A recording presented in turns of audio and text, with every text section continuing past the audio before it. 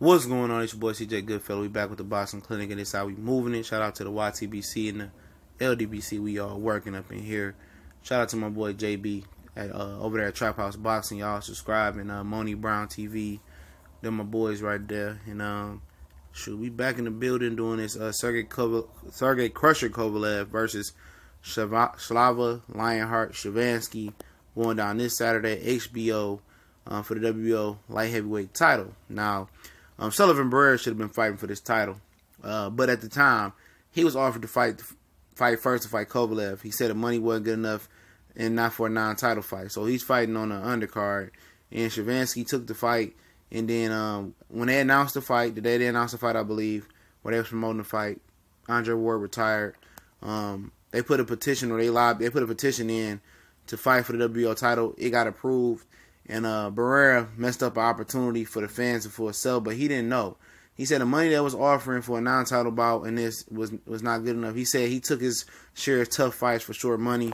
So if you wonder why Barrera passed up this fight, you know he passed it up because the money wasn't right. It was for it wasn't for a title at first, but he missed the opportunity, and it's uh, he might be fighting Bivol next, and um, you know all power to him. He's on the undercard, but um, we watching uh, we here, you know. Shabranskyy, 19 uh, and 1, 16 knockouts. Got stopped by uh, Sullivan Barrera. Uh, Kovalev is uh, 30 and 2 with 20 with 26 knockouts and lost by knockout. Obviously, the two losses were were to Andre Ward, and um, you know this fight has no business being for the WBO title. See, I don't care that Kovalev is fighting for the title, but don't just hand the title off to him versus Shabranskyy, a guy who wasn't even ranked in the WBO until they petitioned and then he got artificially ranked at number ten. The only sanctioned body Shabranskyy was ranked in was uh the WBC, and he barely was ranked in that.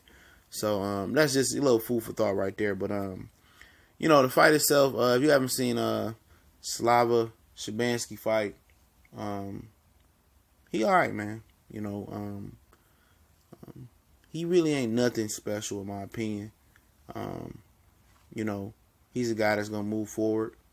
Um, you know, he's a guy that's going to, um, you know, come forward and use the jab. He will use his jab, and uh, he's six four, and um, he don't use his height.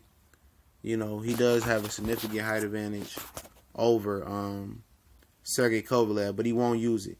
You know, he's a guy that hunches over. You know, use the jab to come in. Um, no, not that much head movement. He will pick punches off with his gloves. Um, you know, I ain't seen him throw too many body shots, which should be a vocal point of this fight. We'll speak on that in a minute. Um, Sergey Kovalev, we know what he bring. Um, he's good when he, he, can keep you at the end of his punches. Um, good jab. Um, you know, good athlete. You know, I think his athletic ability is underrated. Um, you know, he's a good technical fighter. He's technically sound for the most part. He ain't gonna go in there and move his head and, and be slick. He he's a puncher that likes to keep at the end of his punches and be very aggressive. Now you're talking about the weak points. Uh, for Shabranskyy is um he don't use his height, man. You know, he comes in, he don't move his head, he's not defensive responsible. Um he don't know how to he don't have no defense. He don't know how to, you know, slip a punch. You know, he can slip um, a blind man's jab. Um but one, you know, but he uses his he comes behind his jab, you know. He don't use his height. Um he likes to come downhill and um and, and bang it out. But the thing about that is, you know, when your, when your arms are longer than your opponent's, you know, your opponent's shots tend to get there quicker because you're not using your distance, you know, and, you know, I guess nobody ever taught him how to use his distance. And that's one of his biggest flaws. He has been knocked out before uh, by Sullivan Barrera. Um, got up, but got stopped on his feet pretty much. Um, referee stopped it. And Kovalev, we all know his weak spot. Um, mentally, he's a quitter, you know, and he can't take it to the body. Um, and he, he, uh, he tires out. You know, he he he gets he gets tired out towards the end of fights. He's he doesn't finish strong, especially if you're able to put some water in the basement, which means hit his body. He um he won't uh he'll start to fade. And uh Shabranskyy, I ain't seen him throw too many body shots in this in the videos that I, I watched him. I film I broke down on him, but he can. I seen him throw a few, and he needs to make that a vocal point. You know, but we know if you put an, apply enough pressure on Kovalev, you're able to take his uh, his power, You're able to get inside, you know, and not be at the end of his punches and beat the body and, and step the tempo up, you know, he'll quit and he can be stopped. Um, point blank, period. And um, talking about what uh Shabranskyy needs to do, he needs to do exactly that. You know, he need. I mean, I can't say that he needs to get in there and slip some punches because that's not gonna happen. But he needs to come behind his jab like he usually does, um, and you know, get inside of Kovalev's uh, punches. He don't need to stay at the end of those punches. He needs to be on the inside uh, where Kovalev can't fight at and ripping the body. That's it. You know, Kovalev has an excellent jab. You know, but Shabranskyy's going to need to take that jab away to get on the inside and use his own jab. Shabranskyy has a, a solid jab itself and rip the body. You know, and, and step the pace up. You know, if you can't get to the body, you know, step the pace up. You know, you know that's what you're going to have to do. But he's going to have to get to the body and rip the body a lot, step the pace up, and he'll get Kovalev up out there. He got enough power to get a Kovalev up out there. He ain't the puncher that Kovalev is.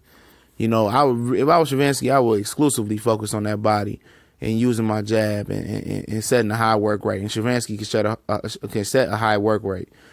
He throws a lot of punches, in my opinion. Um, Kovalev, what he needs to do is keep Shabranskyy at the end of his punches. Shabranskyy gonna try to come in behind the jab, be aggressive. Kovalev needed to just side to side movement, step over, use the jab, you know, use his power shots, work off the jab. He'll stop this guy, you know. Um, this guy ain't getting move his head. Um, um, you know, occasionally throw a body shot there, maybe a, a, jab to the stomach. Kovalev has an excellent jab, as we've seen in the first Andre Ward fight.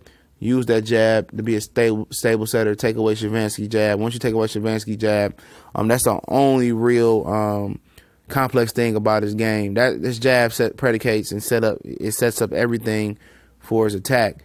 And once uh, Kovalev is able to establish his jab and take away Shabranskyy jab, it's going to be target season all day for Kovalev. You know, I expect Kovalev to stop Shabranskyy if he is, you know, 75% of the Kovalev that we knew um, before the Andre Ward two fights.